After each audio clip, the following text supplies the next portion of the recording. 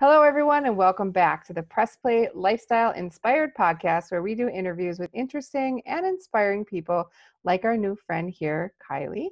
And we do this for our listeners to help them find the resources, tools, and support they need to be their best inspired self. How are you doing today, my new friend? I'm doing very well. How are you? I'm great. It is sunny in Wisconsin, which is like never the mm. case. So right. I'm having a fabulous day. And I got my hairs did, so I'm feeling all good. I'm like, it's been a minute. I had um glitter in my hair. That was some gray glitter happening. So I had to had to get a mm-hmm. get my roots done. So I'm happy to I'm happy about that for sure. nice. Yeah, it's like woo. Yeah. How about you? What's the are you are you in right? Southern Cal? Is that where I see? Yes, I am in Southern. Yes. Yeah, is everything still? You guys are still pretty buttoned up, aren't you?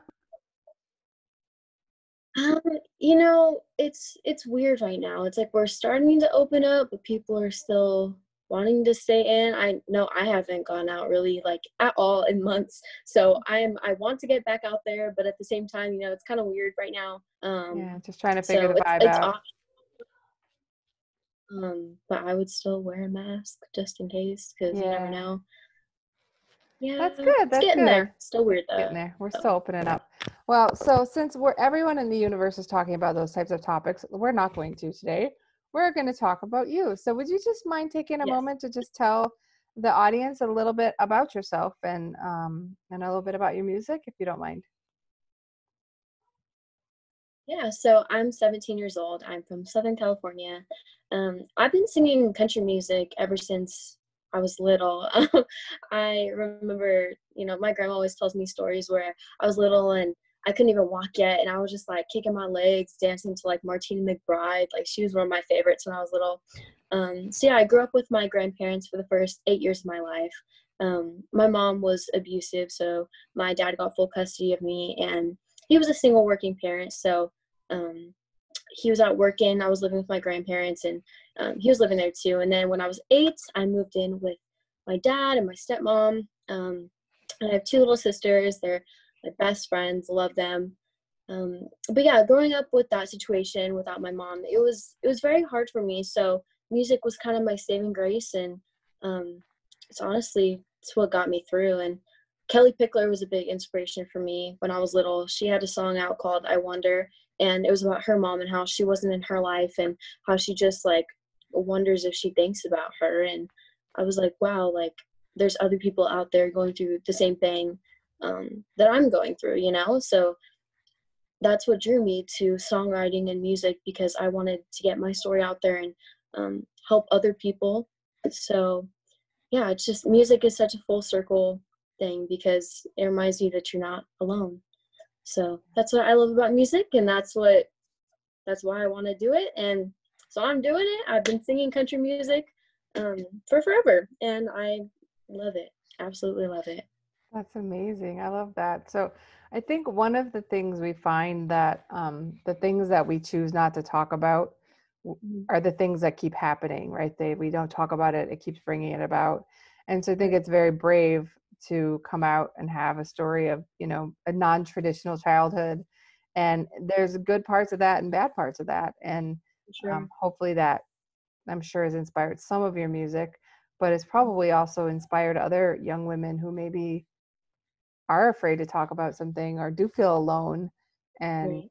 they're, they're not maybe going to relate to me but they'll be able to relate to you you're a little closer to their their age group or you know doing the same types of things they like to do so i think that's that's mm-hmm. amazing mm-hmm. so 17 which you brought it up so i get to ask about it but um, yeah. you say you've been always singing so I, I suppose someone I, have been listening to your music in preparation for the interview and if someone mm-hmm. voice is beautiful as yours i can't imagine you not always singing um, oh, did, you're welcome but when, when did you start like singing where people other people were listening like like right now i know you have a single potentially coming out there's yes. there's a difference right between singing with mom and dad and everyone thinking you're amazing and then like mm. fans so when did that happen? Yeah, so that's actually that's a really funny story. So when I was little, I was probably like one of the top 5 shyest people you would ever meet.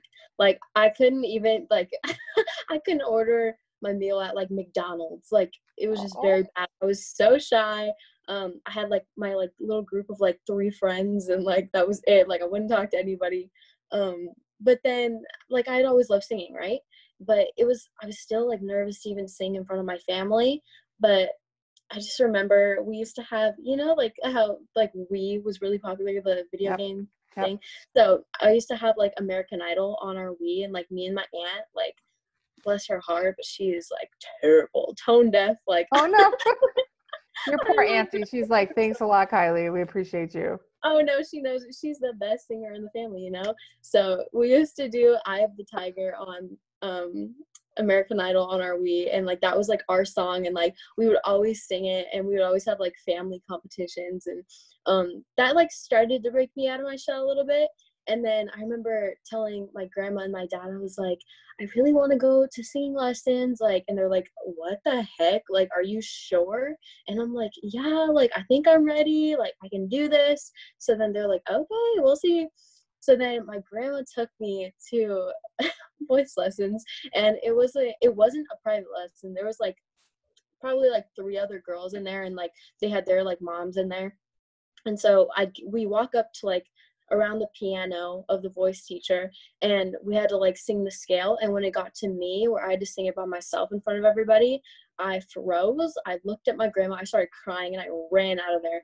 I was like nope like this is not for me i cannot do this. Um, so then i kind of went back in my shell a little bit and then in fourth grade um, there was a talent show at school and i was like i'm gonna do this and everybody's like whoa whoa like look what happened at voice lessons like are you sure? And i'm like no yeah i can do this. So me and my younger sister she's a year younger than me um, we auditioned for the talent show and we did never ever getting back together by taylor swift and we had our own little like dance choreography and like we sung it and everything. We had our props. I had like this old vintage phone like it was hilarious. And so we made it and i just remember going on the little stage at school and I didn't want to get off. And then that was when I was like, this is like, this is what I want to do for the rest of my life. You know, I can't see myself doing anything else. So when I was like nine or 10, I went back to voice lessons. Um, and yeah, since then, it's just led me to where I am today. And I never stopped, never will. So yeah. That's amazing. Someone so young to have like find something that you're that passionate about and right. and for it to be like the opposite of what you might have thought, right? Being like a yeah. shy kid, like, oh, I'm gonna go stand on stage, but I throw up when people say hi to me. So, like, mm-hmm. kind of like, and I feel like it's even more like because when you're at school, like you're so embarrassed. Of, like those are people you see every day, like all your friends and stuff. And so, like, I still can't believe like I just didn't care anymore. Like I totally like went like flipped a switch. It was weird, but glad I did it. yeah. So, uh, being a younger artist, I mean, are there things that you think are harder for you than maybe if someone were um, maybe like 25 like if they're they start a little older they're already past their 18th birthday what do you think?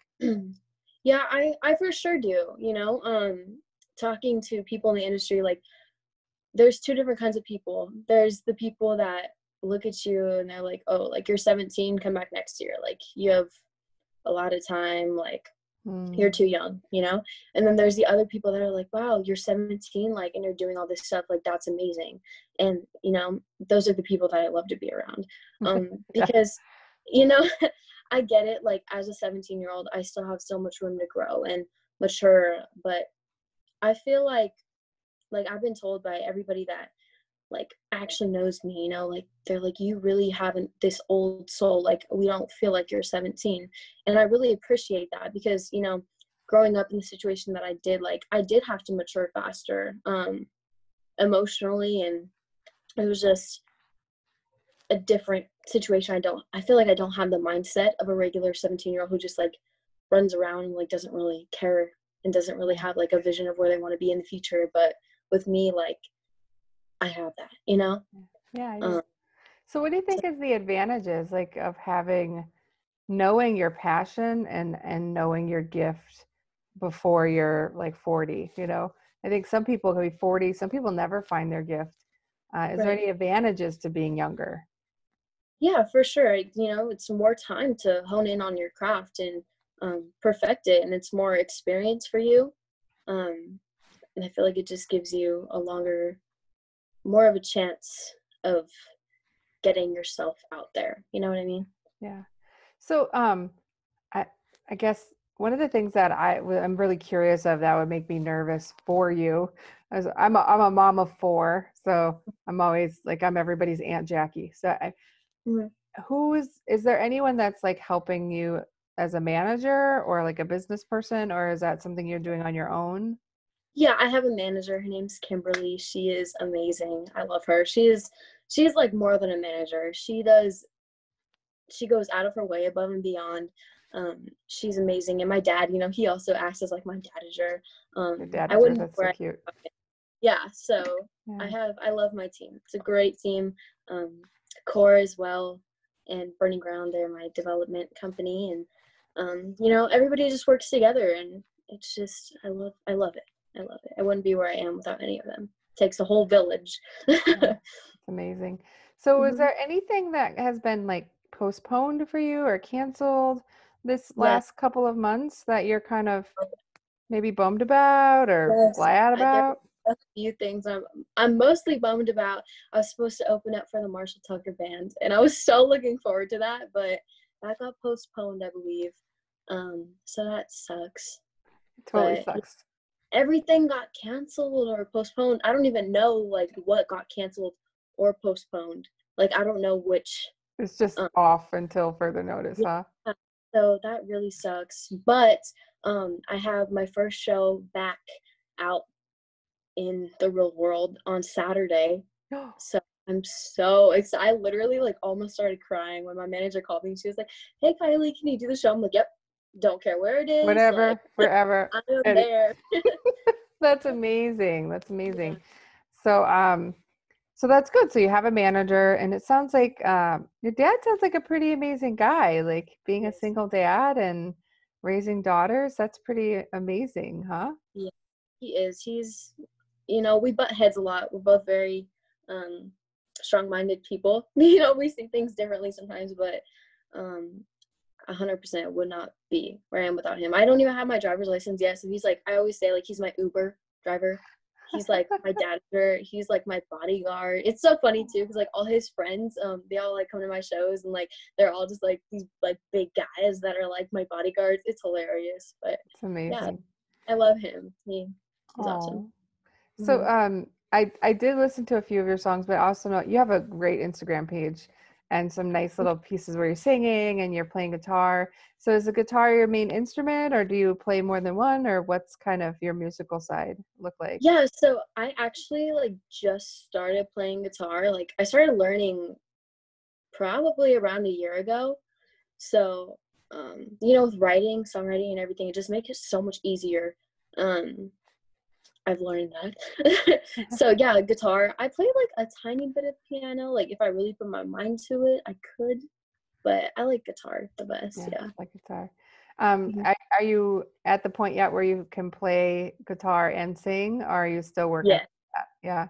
yes i i did not think i could do it like when i first started out i was like oh my gosh how do people do this like this is impossible but i just like practiced like my family hated me for it i like stayed up to like three o'clock in the morning like playing guitar and they're like kylie shut up but That's awesome. uh, my my um I play accordion, which is loud and does Wow, keep yeah. people up. And my daughter plays the flute, and I yeah, we thought that too. We're like, Nan, you know, that's enough, Nan. Like seriously. Yeah. that's awesome though But but yeah, it's it's it's cool to. I think um one of the things I found during you know kind of the the quarantine-ish stuff going on is you know a lot of people keep have been keeping like God and music out of schools. And I think it's so beautiful that with all of this going on like everyone's turning to music. Like the artists are online you know playing shows doing Instagram little quick videos.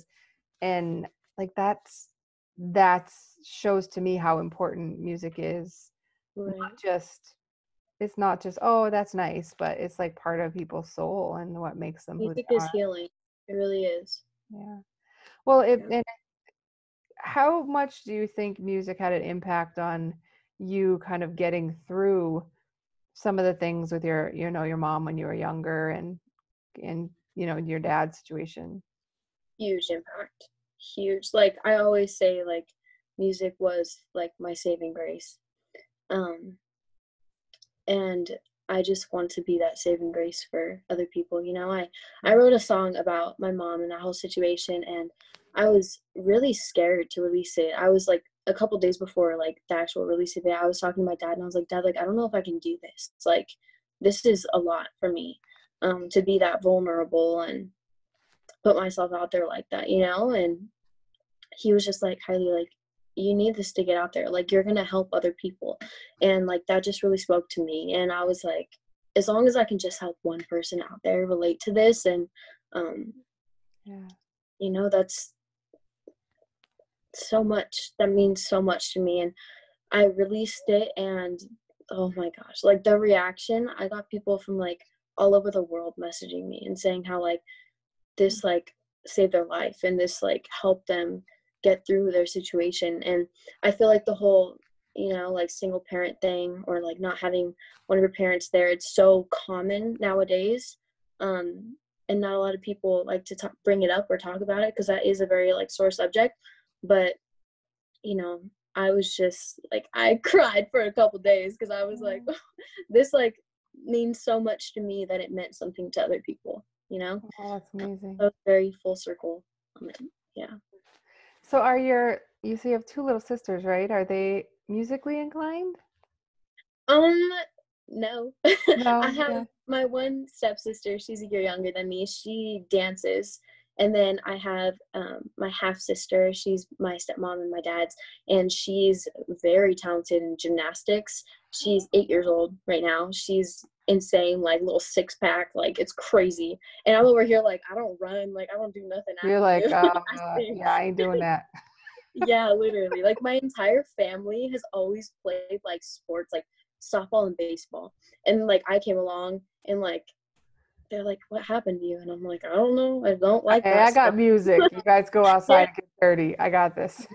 Literally, yeah. yeah. So my dad's kind of bummed because he's like super like baseball fanatic.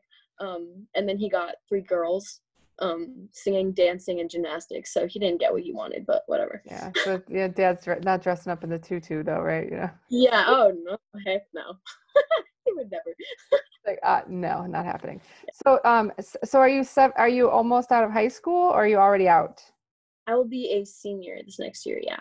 Yeah oh well good so you didn't miss prom hopefully yeah, you get to go to prom yeah hopefully i don't know what this next year is going to be like yeah do you do a lot of traveling um with your with your work yeah, um, I go to Nashville a lot, and I'm so sad because I haven't been there in forever. It feels like I went last time I went was in February.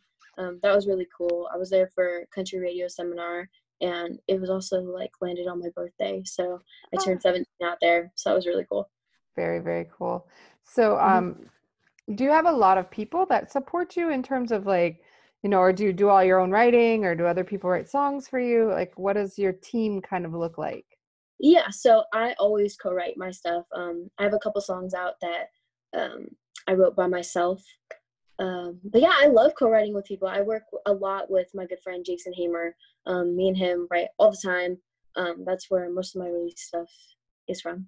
Um, so that's super cool. He's awesome. And lately, I've been writing with more people out in Nashville because it's so much easier right now to reach out to people because everybody just really wants to help each other. You know. Um, yeah, Lots of Did you did you find that was that way in the music industry before kind of the quarantine esque, or because um, I think people have fantasies of what eh, what it is like to be a, a, a working singer versus like you're not like okay so i'm super dating myself but like you're not reba mcentire yet right you're not right. you know patsy cline or dolly parton right. or shania twain or dixie chicks so right. like there's got to be a difference between like that level of length and longevity as an artist and where you are. Um. So kind of what's the team look like when you're kind of a younger artist, like starting out artist? Mm-hmm. Yeah, well, there is so much um, that goes into everything behind the scenes that nobody sees. Like, I remember like I've learned so much like just like within a span of a year that's like boggles my mind like with the whole like recording process and the whole like writing process and everything you know like i said before like it takes a village to get everything done um but it's super i think it's so fun like i really Good. do. Like i really enjoy um the whole the whole shebang you know with writing. I love writing. Learning guitar i'm obsessed with that now. Singing of course always been a passion of mine. And my manager like i said she's amazing. Um, doing shows so fun. Um, my band they're insane. Um, going into the studio and recording like studio musicians they are absolutely insane like it's crazy the people behind the instruments and the recorded stuff and um, producers and just everybody together. It's just so cool. I love meeting people in the industry because you need it takes all kinds of kinds, you know. Yeah. So it's just. I think that's amazing, right? That you're just kind of like there's this whole village of people and Mhm. people see you and they're like, "Oh, look, Kylie's amazing," and you're like, "Yeah," and there's like 8,500 other people behind me Literally. amazing. Yeah, literally. cool. So what's what's next? Like, um, for someone who's accomplished as much as you have already, um, you're super, you know, you're fortunate that you're there. Is do you, what do you look forward to? Like, I think you have what some people might have already been their dream. So, what are you looking for next? You know, what's what's next for Kylie? Yeah, well, I always say, you know, like I want to keep writing and I want to keep putting out music that people can relate with. And as long as I touch one person um, with my music, then that's all I need, you know? But there's obviously like bigger goals for me as well. Like performing at the Grand Ole Opry, always been That would be amazing. for me, yes. And Stagecoach, um, you know, all that stuff I have to work towards and um, look forward to. And I, I plan on getting there one day. So, yeah. That's know? awesome. Must be expensive to like travel though, all the way from California to Nashville all the time. Yeah. So Yeah. a yeah. So how do you how do you um fund your you know mini little enterprise? Is it from your music proceeds or Um, yeah, everything is self funded right now. Um, so then hopefully I get signed and Yeah, then that will be taken care of, you know? yeah, that'll be good. So it'll all be Yeah. worth it. That's amazing. Mhm. Was there anything else you'd like to share with the audience, or um, I'm gonna make sure in the show notes we'll have your Instagram and your Facebook and all, Mm. you know all of your your website, which has got if anyone's listening, great little clips on there. There's some really good music on your Instagram. You've got a lot of stuff out there if people are interested. Mhm. Um, but is there a specific place you really think you'd like to you know navigate people to so they can learn more about you? Yeah, probably I would say, you know, Instagram and Spotify. Those are my top two. Yeah. Awesome. Yeah. All Yeah. right. Well, thank you so much for taking the time out of your day to meet with us. I bet our listeners are going to be super excited. I really do hope they listen to you. I, I'm not, you know, I don't have any reason to tell you you're great for no reason at all, but I, I really, you have this really rich, like soulful voice. I think people will be surprised if they hear your music and then see that you're very you're as young as you are, because you've Mhm. got you've got like this deep, rich vocals with a little bit of country twang thrown in for fun, which Yeah. is good. yeah. Thank you so much. Yeah, well, we we look forward to keeping an eye out for you, and as you know, new things come up, you know, hopefully your your PR firm will let us know. But we Yeah. will definitely share your information with everyone. And thanks again. Awesome. Thank you so much. You're welcome. Bye bye. All right. Bye.